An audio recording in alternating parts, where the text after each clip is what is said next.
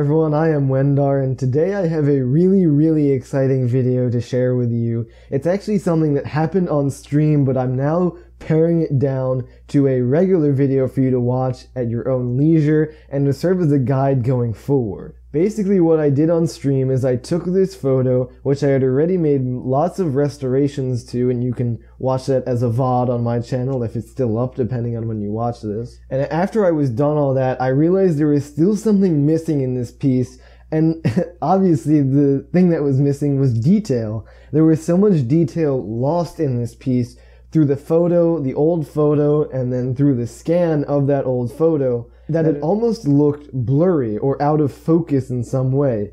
And I wanted to find a way besides just regular sharpening. So I started looking into a way besides just using the regular sharpen filter to try to bring out more of that detail and create more detail by tracing over what had once been there but was no longer. So basically, what I did is I just drew in more detail. So I started here after making a lot of adjustments you can see, just simple restorations using the healing brushes and the clone stamp tools, etc.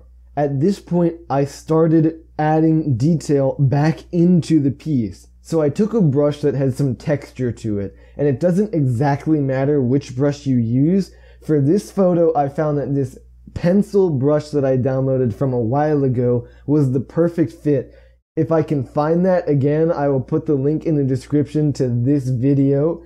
And if not, I'll link to another brush set that could probably be used in the same way, and I may even use it in the future. So the whole idea behind this brush is that there was a pencil texture to it.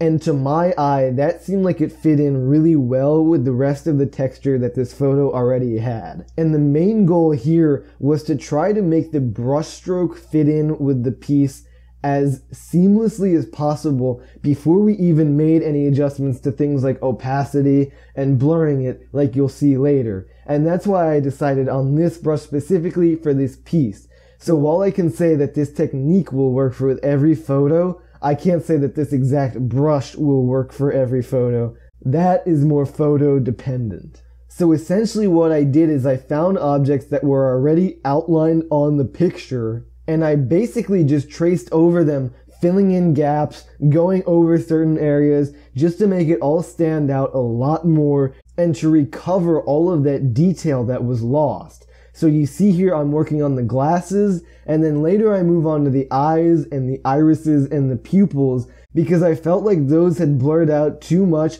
especially with the glare on the glasses. And I wanted to bring more detail back to those parts of the photos specifically. I also went over parts of the face like the nose and other areas that I saw beneficial to the piece. So, for example, the outline on the ears and the mouth that had lost detail, both on the man and the woman. And of course, I could have continued this effect throughout the entire piece, but I felt like it was most important to get the facial features down first, and then I could always move on later if I chose to. It ended up I didn't choose to, but the technique is what matters. And this was more of a test of the technique rather than actually applying it to an entire photo, which I'll have more success with next time now that I have a better idea of what I'm doing. Now, what I really loved specifically about this brush is that it was set to the multiply blend mode. And so I was able to sample colors originally from the photo in the darks, in the shadows, in the blacks of the photo, and I used that as part of my outline. But on top of that, I tried to start building up layer by layer more sharpness and more detail. So you see me going here back over certain lines, and that was to bring out the detail in certain areas. And I always figured that I'd rather overpaint and then reduce the opacity more than build up too little and have to go back and add more either through duplicating or through actually painting over it again.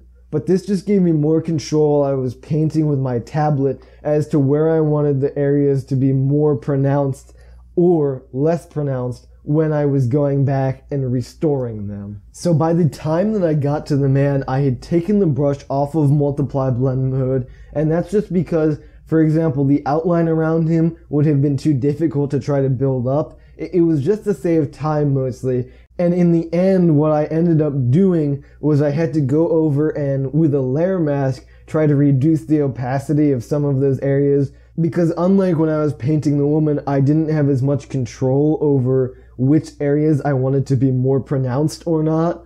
And so my recommendation to you would be to keep your brush on multiply blend mode or have a lower flow and then build up the effect with each stroke because that will give you more control over what you're doing and will save you time in the end when you go to blend this back in. So as you can see here, the effect looks kind of ridiculous when it's at 100% full opacity, but even when you zoom out, it's not too distracting. But really this effect comes into play when you're trying to blend it with the photo in the end. So the first thing that I did is I lowered the opacity of the layers, of course. I also went over, like I said, and painted with a layer mask, painted away the areas that I thought were a little bit too pronounced, and I just reduced the opacity in those regions of the photo. Then I took the layer and gave it a very small blur just so it once again it blends in more with the photo and doesn't seem as crisp, but I still of course wanted to keep that sharpness to it. But the real effect came into play when I merged this restoration layer with the photo below it, and then I started denoising the photo. By specifically going over and targeting these areas, they were way less affected by the denoising process, so they retained that sharpness.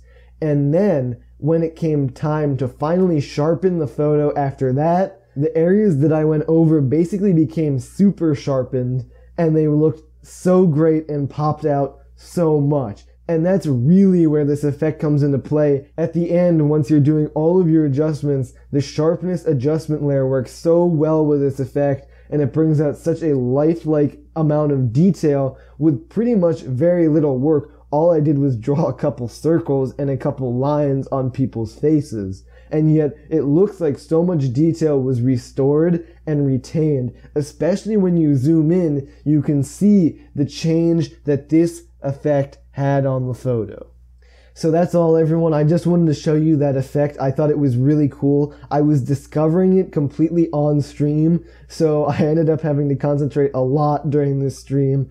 Um, you can catch the VOD on my channel if it's still up, and if not, you can come and watch me on Twitch at twitch.tv slash Wendar. My schedule is below my stream, so if you want to see when I'm streaming, you can just go and look there in the description of that. And I hope to be applying this same effect in the future to more photos that I go on to restore, of course.